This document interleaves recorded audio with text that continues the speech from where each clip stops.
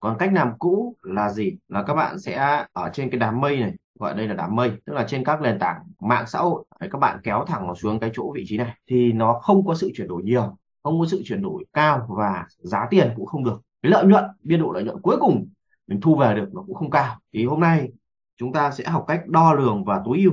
Thì để đo lường và tối ưu thì cái phần này nó sẽ có hai phần. Phần số 1 đó là phần sử dụng các cái tệp đối tượng sử dụng.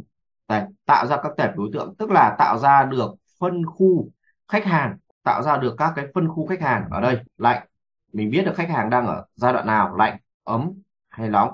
Đấy, hay là người mua. Đấy, mình tạo ra các cái phân khu như này thì mình sẽ chạy vô cùng hiệu quả và vô cùng tối ưu và mình biết chạy mình bỏ tiền ra cho đối tượng nào và mình biết được cái tỷ lệ chuyển đổi nó ra làm sao. Thì đấy là về sử dụng tệp đối tượng. Thì muốn sử dụng được thì mình phải tạo biết tạo và biết quảng cáo lại thuật ngữ chuyên ngành nó gọi là remarketing remarketing chạy quảng cáo bám đuổi. Cái thứ hai là mình phải biết đọc chỉ số đọc các cái chỉ số trên quảng cáo trên trình quản lý quảng cáo để mình à, tối ưu xem rằng chỉ số nào chưa ok chỉ số nào đã ok chỉ số nào mình có thể làm tốt hơn chỉ số nào mình không thể nào có thể tốt hơn được nữa. Thì các chỉ số đây các bạn cần quan tâm. Đầu tiên đó là cái kết quả.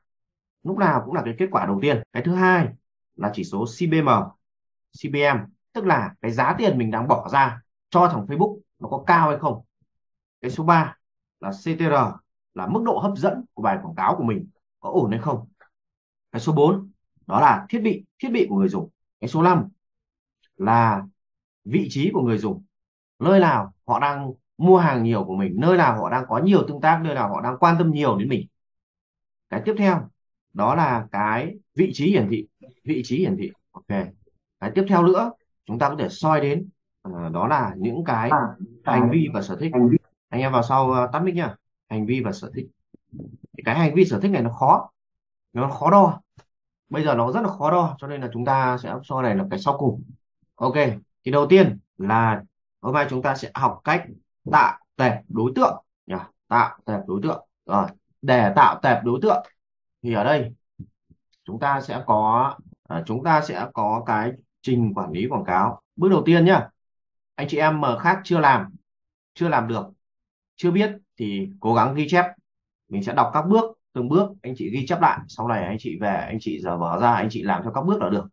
Đấy, bước đầu tiên là chúng ta sẽ vào trong trình quản lý quảng cáo cái giao diện làm việc thường xuyên và phổ biến của chúng ta được không thường xuyên và phổ biến chúng ta. Ok mình sẽ mở một cái khoản này đã có số liệu mình sẽ phân tích được cho anh em. Rồi thì khi mà các bạn làm, các bạn vào trình quản lý quảng cáo này, bước tiếp theo này, các bạn bấm vào cái ba gạch nó hiện chữ tất cả công cụ ở cột bên trái, được chưa ạ? Ở cái cột bên trái này, tất cả công cụ. Chúng ta đi vào phần đối tượng. Thì cái giao diện đầu tiên của các bạn nó sẽ không có cái gì hết, nó sẽ không có cái gì hết. Nó sẽ không có những cái như thế này, mà nó sẽ trắng tinh. Trắng tinh là như nào? Đây sẽ mở một cái tài khoản trắng tinh đây ví dụ như cái tài khoản này, thì nó sẽ trắng tinh như này. Đấy và nó có các cái nút tạo đối tượng tùy chỉnh, tạo đối tượng tương tự và tạo đối tượng đã lưu. Ở đây có ba thứ. Thì đối với tạo đối tượng tùy chỉnh này này, là cái mà chúng ta sẽ tạo ra. Cái tạo đối tượng tương tự này, đó là cái chúng ta sẽ nhờ nền tảng Facebook tự tìm khách hàng cho chúng ta. Thay vì chúng ta phải tự target, tự đi tìm khách hàng rất vất vả thì chúng ta sẽ nhờ chính cái nền tảng Facebook tìm cho chúng ta. Và cái cuối cùng, đối tượng đã lưu này này là chúng ta sẽ sử dụng lại các cái đối tượng khách hàng cũ. Chúng ta có từ các nguồn cũ ví dụ như nguồn offline. Chúng ta có số điện thoại của khách hàng. Chúng ta có thể đẩy nó lên đây để chúng ta tạo ra cái tệp đối tượng khách hàng đó và quảng cáo lại cho họ. Thì đầu tiên rồi mình sẽ làm luôn ở cái tài khoản mới này nhá. À, chúng ta sẽ vào cái mục đầu tiên đó chính là tạo tệp đối tượng tùy chỉnh tạo tệp đối tượng tùy chỉnh. Các bạn sẽ bấm vào tạo tệp đối tượng tùy chỉnh ở đây nó sẽ có các cái nguồn để các bạn chọn. Và tại sao lại bắt các bạn sử dụng tài khoản quảng cáo doanh nghiệp? Khi các bạn sử dụng tài khoản quảng cáo doanh nghiệp thì các bạn sẽ dùng được cả cái phần bên trên này. Còn các bạn sử dụng tài khoản quảng cáo cá nhân thì các bạn không dùng được. Cái phần bên trên này sẽ phù hợp hơn với các bạn đang chạy landing page, đang chạy về website bán hàng, đặc biệt là những người làm SEO web. Thì cái mục này vô cùng quan trọng. Bởi vì sao? Bởi vì hành vi của khách hàng sẽ được bắt ở đây là chuẩn xác nhất nếu như một người có một vấn đề, tôi lấy ví dụ, một người đang bị đau xương khớp, họ đi tìm giải pháp ở họ sẽ đi tìm giải pháp ở trên mạng. Họ sẽ bấm vào một cái website bất kỳ, và khi họ bấm vào website đấy, mà website đấy là website của chúng ta, thì chúng ta sẽ bắt được họ. Và khi họ thoát website ra, họ vào trong Facebook, thì nhờ có cái phần này, nhờ có những cái phần này, mà chúng ta có thể quảng cáo được chính xác đến họ, những người đang có nhu cầu về cái bệnh đau xương khớp thì cách này nó sẽ giúp cho chúng ta quảng cáo đúng người, đỡ tốn kém, được chưa làm rồi, thì ở đây chúng ta, trước khi phần này phần này nó khó, nó nằm trong khoa học chuyên sâu cơ, thì các bạn cũng không cần quá quan tâm.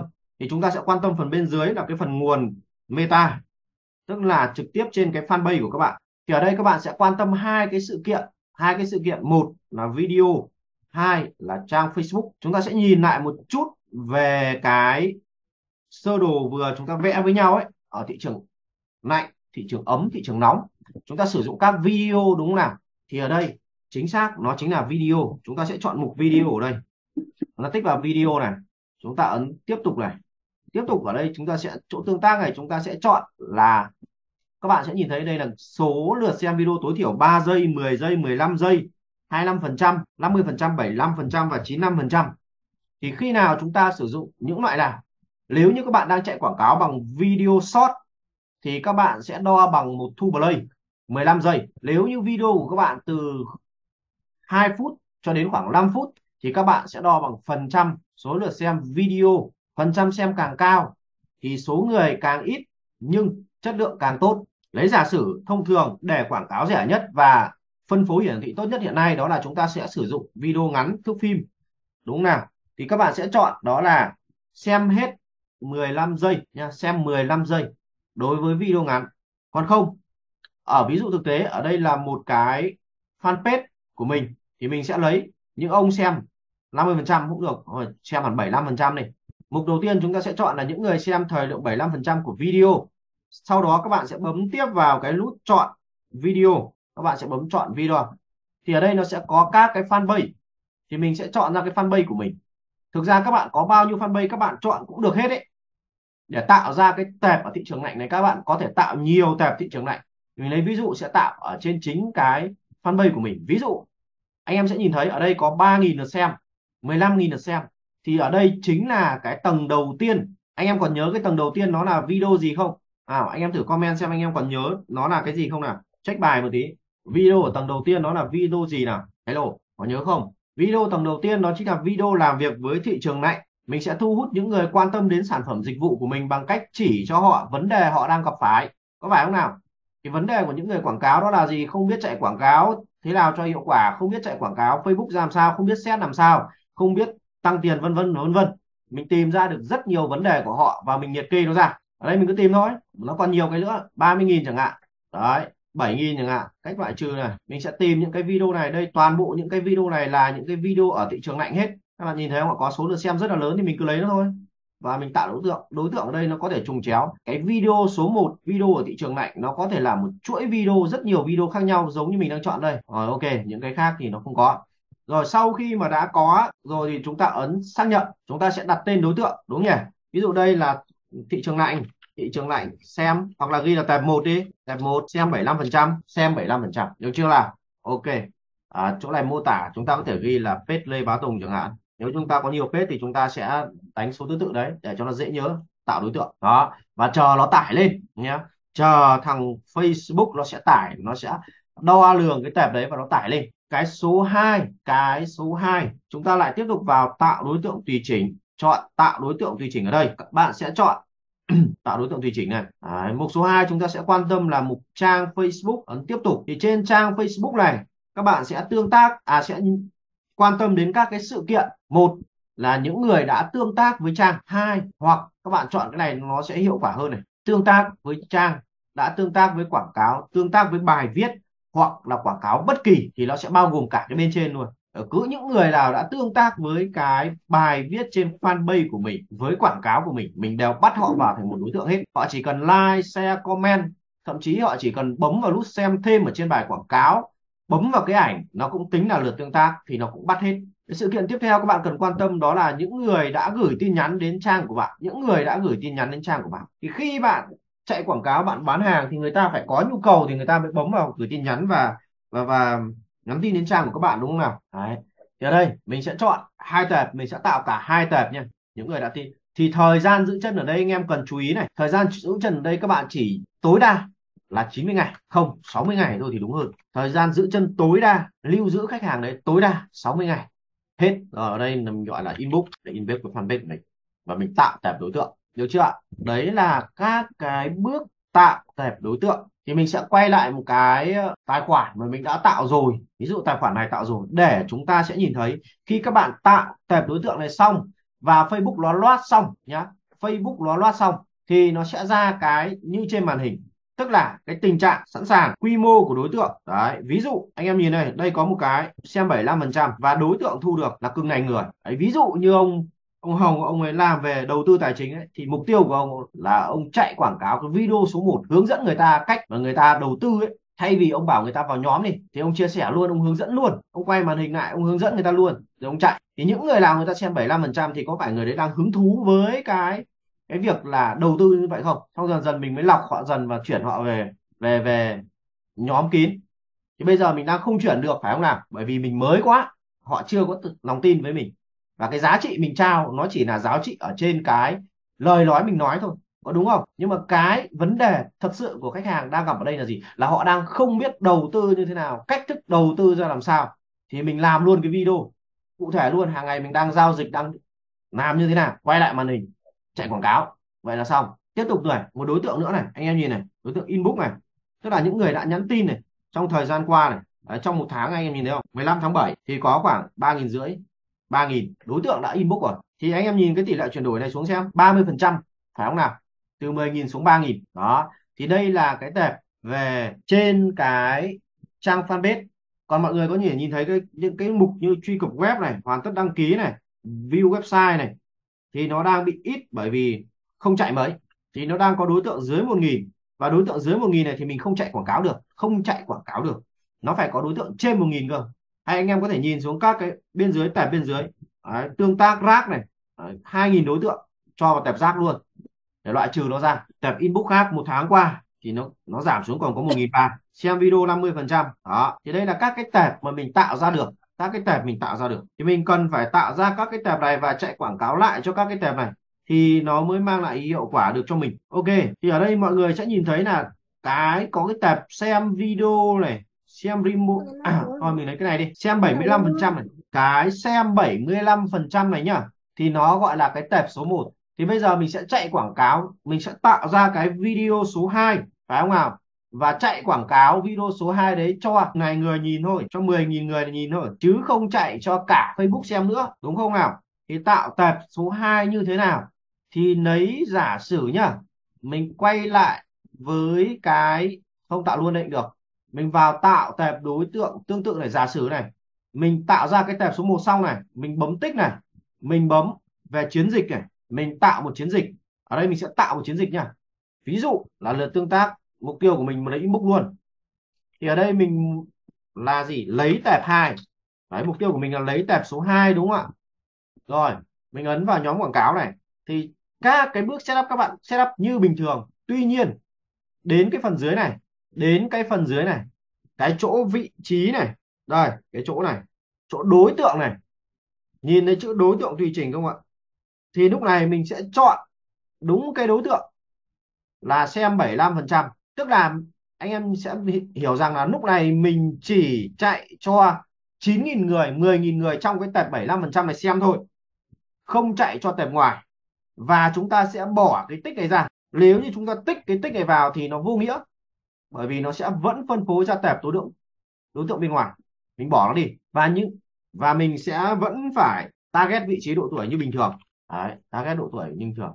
Thực ra đến bước này các bạn cũng không cần phải target độ tuổi đâu. Target vị trí là được rồi. Thì mọi người nhìn thấy không ạ? Nó có số người tiếp cận này hàng ngày này. Đấy, cái tệp 10.000 người thì mỗi ngày tiếp cận khoảng 2.000 và cái số tiền bỏ ra là 400.000 và setup giả sử và chúng ta sẽ chọn một cái video nhá. Mình sẽ chọn một cái video mình lấy ví dụ cái video này là cái video số 2 sẽ lấy một cái video khác làm cái video số 2 đây, ví dụ cái video này đi. Sau đó mình ấn đăng và chạy, đúng nhỉ? Các bước đấy, mặc kệ nó. Là mặc định rồi. Sau khoảng một thời gian, sau khi mình bấm đăng và chạy xong, mình lập tức sang cái phần đối tượng ở đây. Cột bên trái, chọn đối tượng. Mình sẽ chọn vào đối tượng tùy chỉnh. Mình sẽ tiếp tục chọn vào video. Mình chọn tiếp chỗ này mình sẽ lấy xem tiếp là 50% thời lượng những người xem video số 2 đi. Đấy KPI là như vậy. Sau đó mình sẽ chọn video. Thì mình chọn đúng cái fanpage mình vừa chạy và chọn đúng cái video này. Đấy, chọn cái video mình chạy tệp số 1 đấy. Thì video này ví dụ cái này nó đang có khoảng 697 lượt xem thì mình xác nhận. Rồi tên đối tượng tệp 2 phải không nào? Và ấn tạo và chỉ ngồi chờ cho nó ra kết quả thôi cho nó loát. Thì cái với 697 lượt xem kia và lấy tỷ lệ 50% thì đâu đó nó chắc chỉ được khoảng độ 30% tức là khoảng độ, khoảng khoảng khoảng độ đâu đó được khoảng 200 người, khoảng 200 người. Hình dung là nó không được nhiều. Vậy nên là cái việc chúng ta chạy cho tệp 1 càng nhiều càng tốt. Không bao giờ được dừng tệp 1 và khi tệp 1 đủ lớn rồi, đủ đầy rồi, chúng ta lại chạy tiếp tục cho tệp 2 và để có cái tệp số 2 đầy, mình lại phải tiếp tục chạy cho nó thật lớn nó lên rồi tạo ra tệp 3 chạy tệp 3 thì cứ như vậy, cái phễu của các bạn sẽ luôn luôn được rót nước vào, rót khách hàng vào. Được chưa nào? Đấy là xong phần đầu tiên, tạo tệp đối tượng. Tiếp theo, về một cái tệp đối tượng khác, đó chính là tệp đối tượng tương tự. Thì chúng ta mất công, mất sức để đi tìm target, đi tìm đối tượng khách hàng nó quá mệt mỏi, phải không nào? Thì bây giờ, mình nhờ Facebook tìm luôn cho mình, nhờ Facebook tìm luôn cho mình. Bằng cách là gì?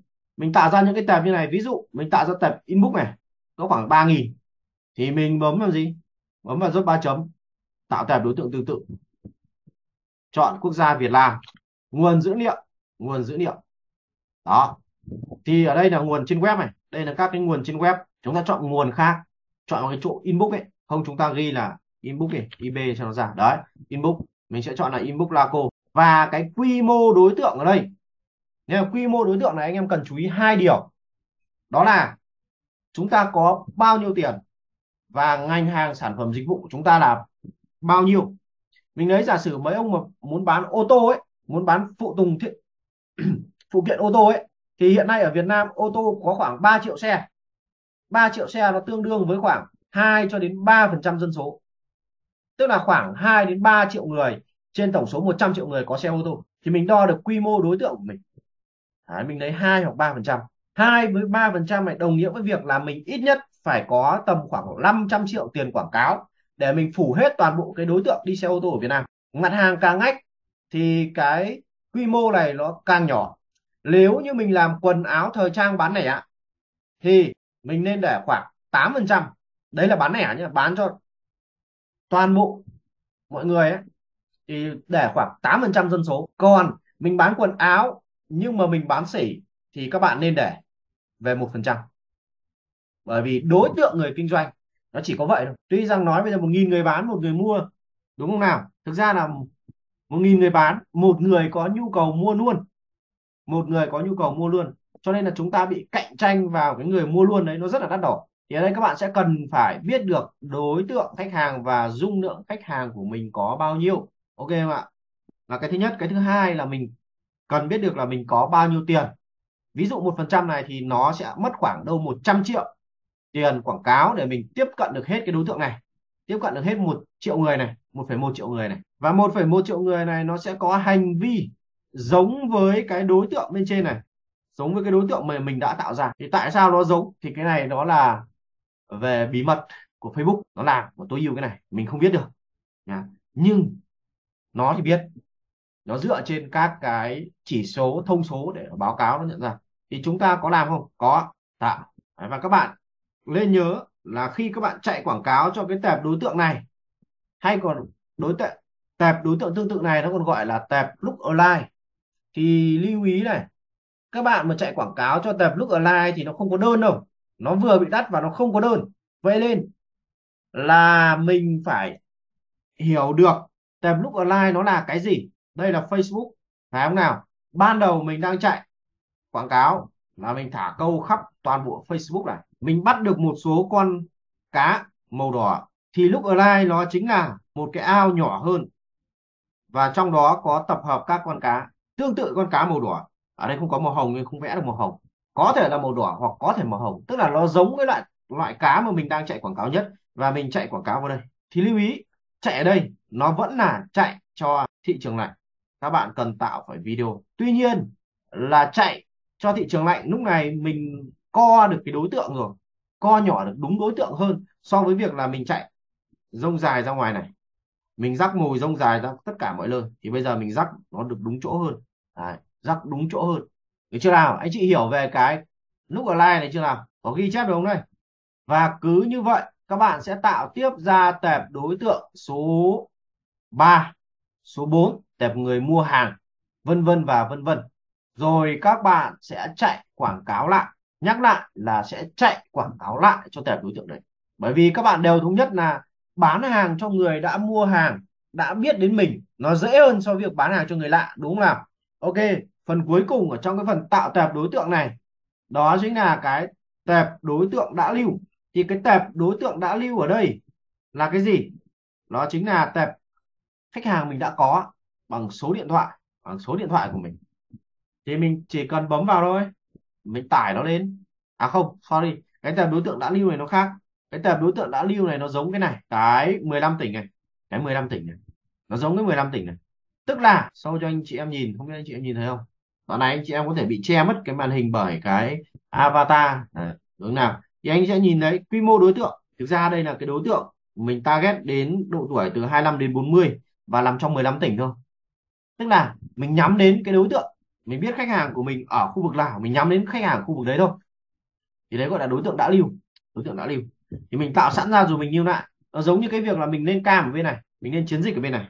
Đấy, mình lên chiến dịch ở bên này nhá chỉnh sửa này và phần nhóm quảng cáo này. Thì phần này thay vì là mình mình mình mình mình ờ, chọn cái đối tượng tùy chỉnh ở đây mình tắt nó đi này. Thì đối tượng đã lưu là gì? Ví dụ đối tượng sống ở Việt Nam độ tuổi từ 25 cho đến 30 tuổi chẳng hạn. 33 đi. Đối tượng là nam sống ở Việt Nam 25 đến 33 tuổi. Thì chỗ này nó có khoảng 10 triệu người. Đấy. thì mình lưu lại. Nó có chữ lưu đối tượng ở đây. Thì khi mình target xong cái đối tượng này thay thêm một cái chỉ số nữa 25 tháng đi. Sử dụng thiết bị trên 25 tháng. Đấy, sử dụng thiết bị trên 25 tháng. Thì nó còn có có cực này người đây. Nó có cực này người thôi. 2 triệu 3 đến 2 triệu 7 người. Thì mình lưu cái đối tượng này vào. Mình lưu cái đối tượng này vào. Đấy, ví dụ làm 25 đến 33 dùng thiết bị trên 25 đấy. Thì đây gọi là đối tượng đã lưu. Và lần sau được chưa nào? Lần sau nhá lần sau. Mình lên một campaign mới mình tạo campaign mới này. Mình chỉ vào sang nhóm quảng cáo mình chọn cái đối tượng đã lưu thôi kéo xuống phần đối tượng. Và mình chọn sử dụng đối tượng đã lưu. Đấy. Vậy là xong. Bụp một phát target xong luôn. Nhanh luôn không cần phải nghĩ ngợi gì nữa. Đúng không nào? Không cần phải nghĩ ngợi nữa không phải ngồi xét xét đi xét lại mãi một cái đối tượng đấy nữa.